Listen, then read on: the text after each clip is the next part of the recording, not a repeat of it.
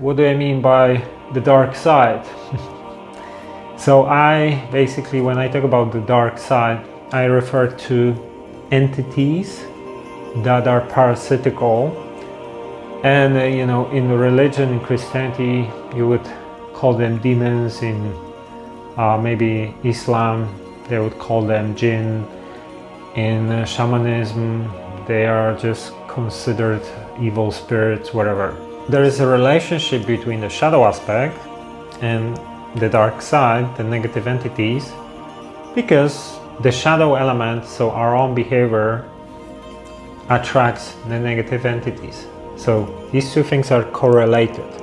There's another element to the role of the shadow and the dark side in our evolution as a soul and our growth.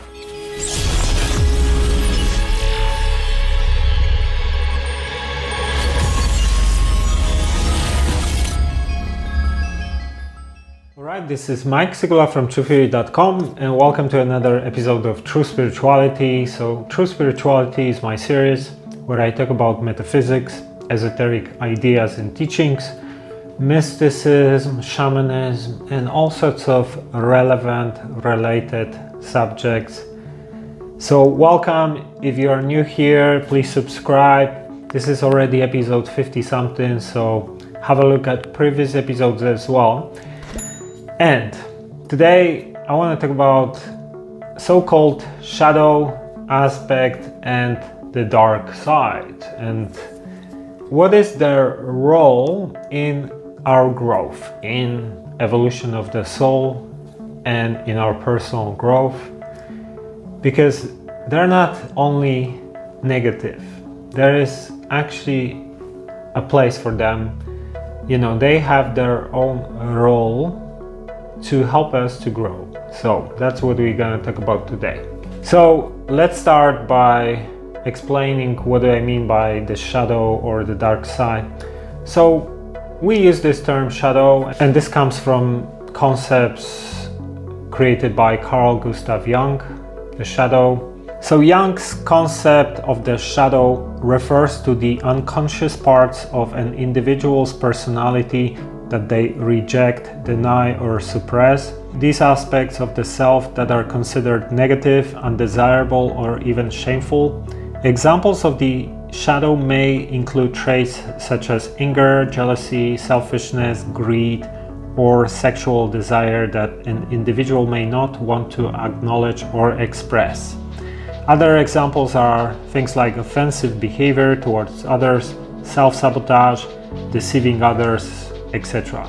Yeah, so basically, you know, we are using this term, the shadow, to very broadly describe all the negative parts of personality, behaviors, etc. This is not exactly what Jung was talking about, right? But currently, this term shadow is being used in all sorts of ways in psychology and personal development, and I'm using it here to describe the negative aspects of ourselves. Second thing, what do I mean by the dark side? so I basically, when I talk about the dark side, I refer to entities that are parasitical.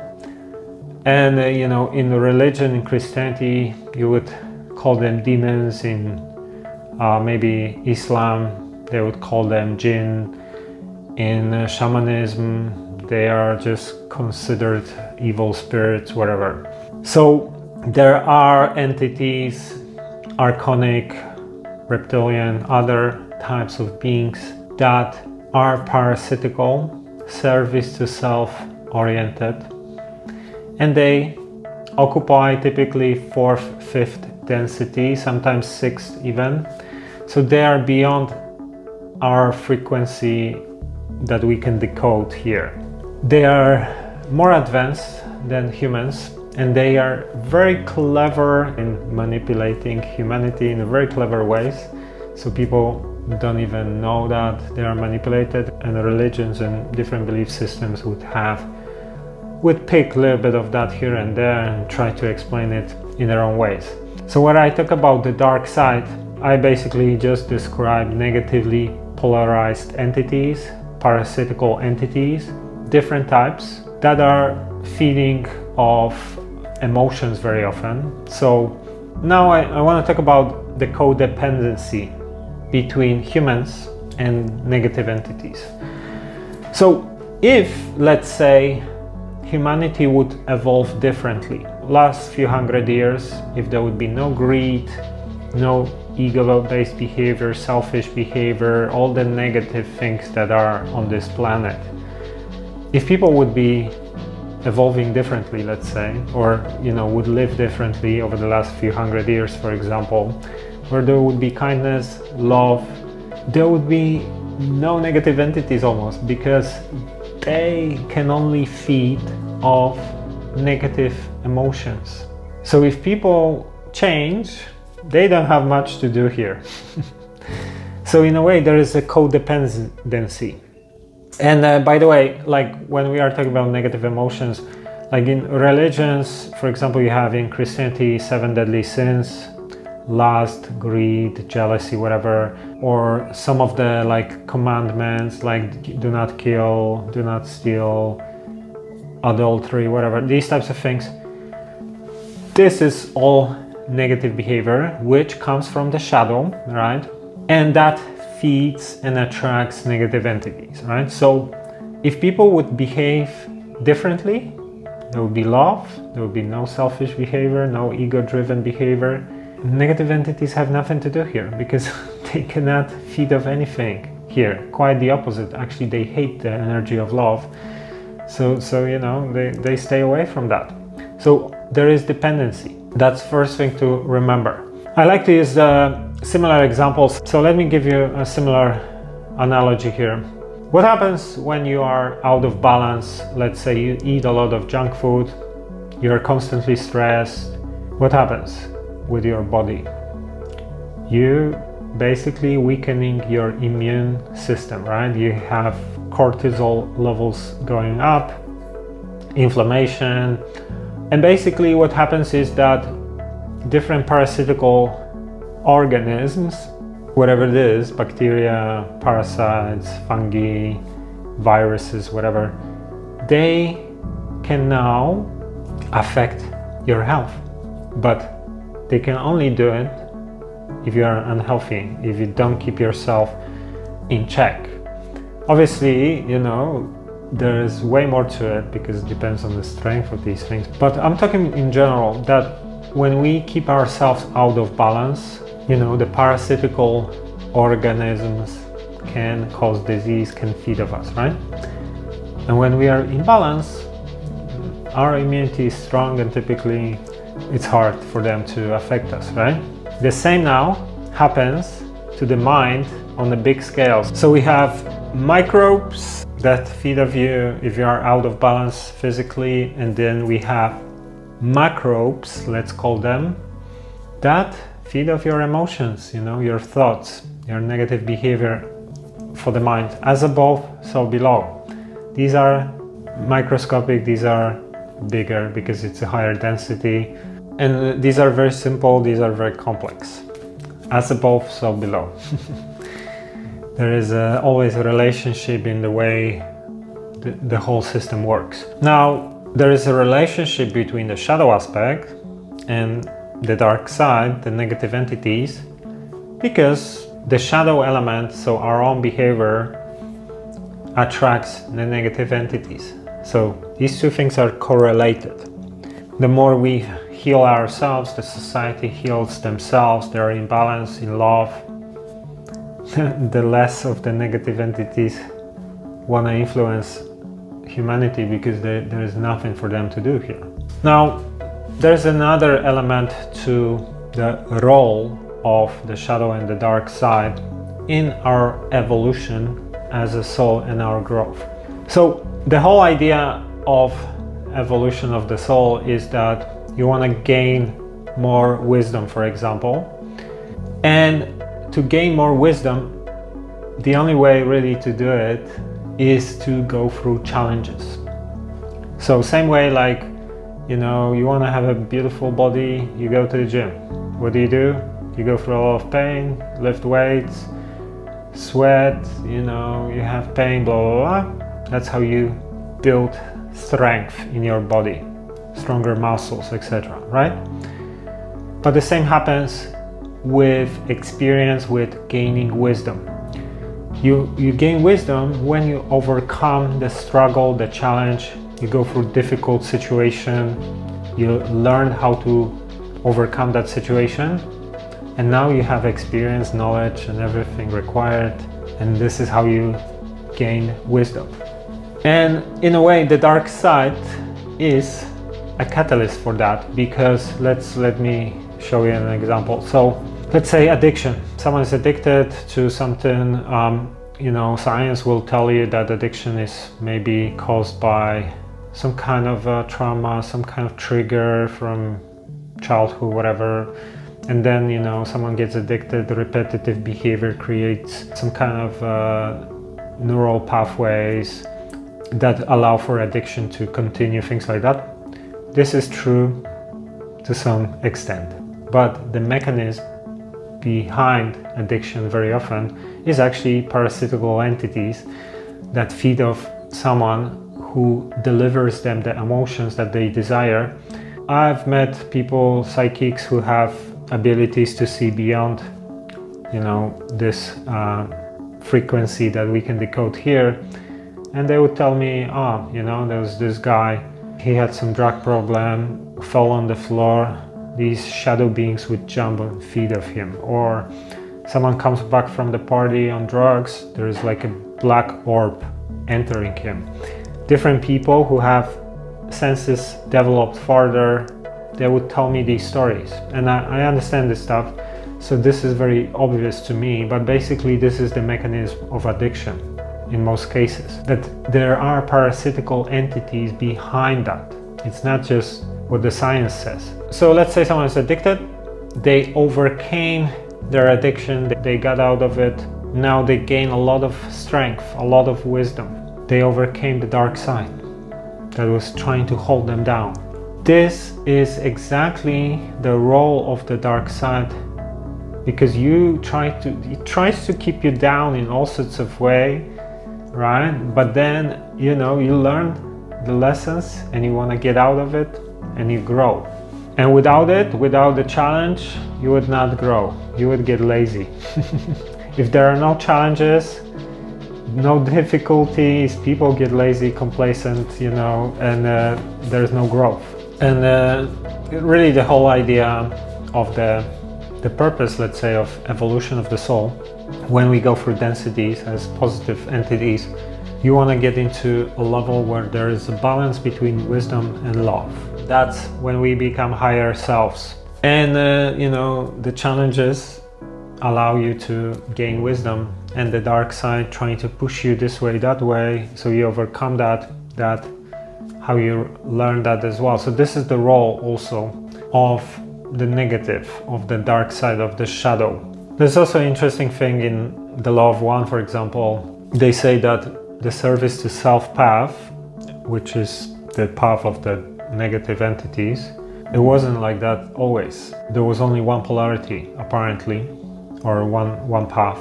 And you you know, people would get bored or entities would get bored, not really accelerate, not grow so much because it's just easy all the time. So the choice to become negatively polarized as service to self was introduced by the source to have more kind of uh, interesting game, let's say, so that's an interesting thing. Finally, I want to just say one more thing about how the shadow element is also keeping us in check. And uh, you know, if you don't clear your shadows, if you don't overcome your own uh, patterns, then it kind of holds you back. It it's like the weight keeping you from evolution. So this is also a role because basically everything we do creates opposite towards us. So if I'm selfish, greedy, whatever, sooner or later, same gonna happen towards me, and I cannot clear the behavior that you know until I gonna clear myself. That's gonna keep coming back at me all the time. Whatever is unresolved in us, sooner or later will reflect the same towards us, or will will block us one way or another. So let me quickly give you an example. I mentioned that in some previous videos, but basically I have this pattern, the shadow. I wasn't even like fully aware of it. That, you know, I like to be right about things because I'm very passionate about knowledge and being, you know, and truth and all these kind of things, especially when I know a lot about the topic and I get into a discussion with someone who knows nothing or very little, or I can clearly see they don't know much about it. They think they know whatever. I, I, I gonna try to prove, you know, I'm right here because you, you don't know or whatever. So this was my pattern, right? And, and it's still probably a little bit, but basically I became aware of it because it was just so normal to me that I didn't even notice that when I'm doing it.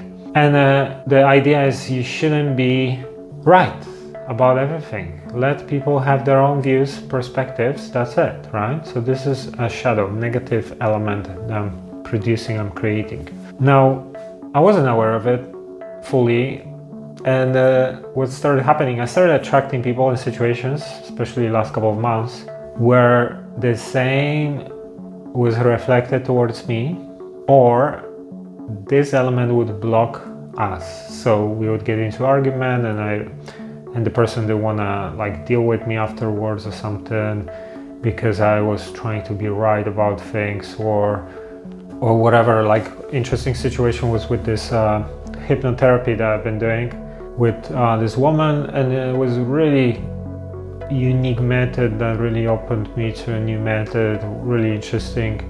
But you know before we had a session I, I just had a call with her and, and she has a very very strong authority, same like me, really strong on like the spiritual topics. And uh, and we had a disagreement on some of the biggest topics for me. I was like, I, I literally ended up arguing with her. And I was like, we ended up on like with a little kind of uh, argument, let's say. And I was like, I don't want to do session with her. You know, she's like arrogant, whatever, blah blah. blah. And then I realized, okay, this is my own pattern that I just attracted towards me. Being right, trying to be right. She, I attract her person who has something similar, but now, if I want to have a session with her, I just need to shut up and be polite, be nice to her, and allow her to do the, her stuff, even if we don't agree on some of the things. And I realized that, so I allowed her to work and I just decided I'm not gonna argue, I'm not gonna say whatever, let her think what she thinks. And she helped me a lot. She was like really influential now. I discovered very interesting method. So this is the thing, you see, you wanna evolve higher, you wanna get more, you might have your own pattern blocking you your own shadow that's not to allow you to go higher and further. So this is another element, another role of the shadow aspect that is basically going to be blocking you until you're going to resolve it, until you're to notice where is the problem. It's just going to be keep coming back at you one way or another, one form or another. It's kind of like this weight keeping you down and you gotta heal it here clear that. So the weight is out and then you don't attract situations reflecting that towards you. So another interesting role of the shadow as a catalyst for growth and evolution of the soul. Hope this makes some sense. Please let me know in the comments below. Give it a like please. Like the video if it makes sense if you enjoy it.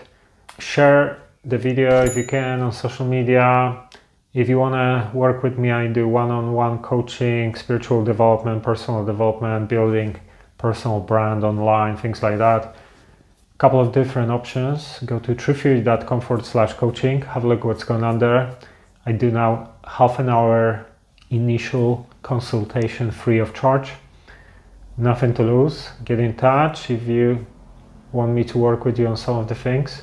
If you like our content, consider becoming a Patreon supporter. It's patreon.com forward slash truth theory. It really helps a lot.